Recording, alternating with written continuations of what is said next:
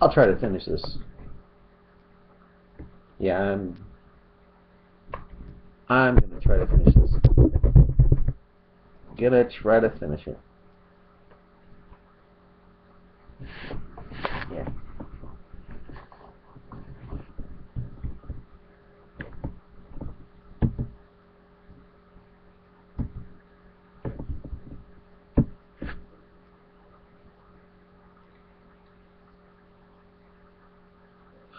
Okay, it continues here. Can God create a square circle? Mm-hmm. Since an electron can be in two different places at the same time, why not? An electron cannot be in two diff- in two places at the same time. And then he gives me uh, something called uh, physics stack exchange dot question something four five zero four one. Can an electron be in two places at the same time? And from what I saw, I go, interesting. I heard different. Of course, he, if if he doesn't believe in that electron can be in two places at the same time, when he talked about this uh, quantum foam a little while back, I'll bring that to him later on if he continues here. What I've said is that we have two concepts of time, one infinite and one not. That makes more sense. But the one that is infinite is not created by an eternal God and has always been like an eternal God, true? Neither of these makes uh, neither of these makes sense. Thus, better to believe the Big Bang is it just happened and boom, time, right? You know, just just bang, time, right? Uh, in our way of thinking, time can neither be infinite nor finite. Actually, to my way of thinking, time cannot be finite if there is no eternal God. Do I believe time came from nothing? No. Well, that is a start. If time started at any point, there was never nothing for it uh, for it to come from. Exactly. Your concept of God doing without time is always void, as it utterly ignores causality. What if an eternal God is responsible for causality? Sounds like you are about to go back to time coming from nothing again. But what you're asking is for a cause to the universe.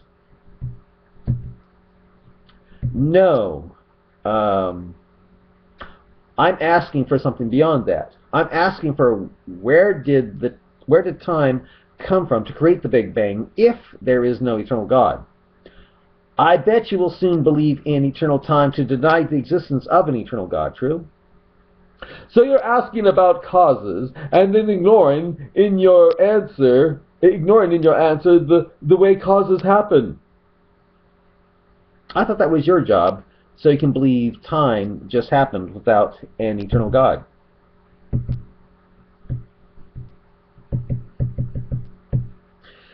Um, that would be like trying to build an electric circuit, but ignoring the way electricity behaves.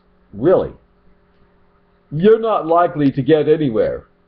Oh, I think I know where you're going now. But given time and chance, you will. True. That is abiogenesis.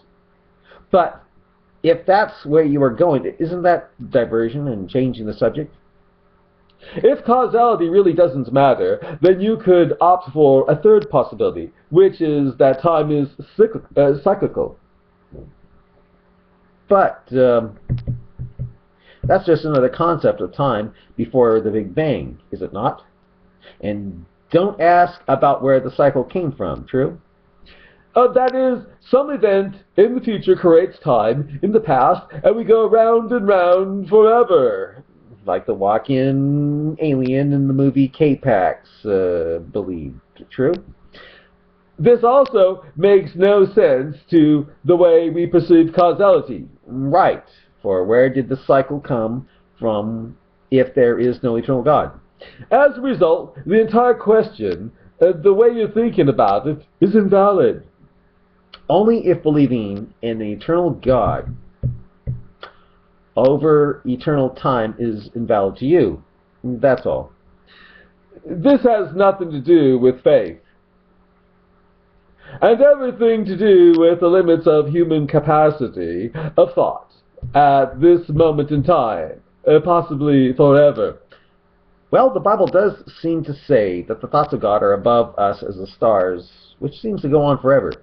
If you want to investigate how time started, go to go to it. You seem to be an intelligent guy, and if you can't explain it to me, I don't think anyone else will. Besides Stephen Hawking, who was supposed to be a genius, seemed to believe that before the Big Bang there was no time. Then bang, for no reason at all, time.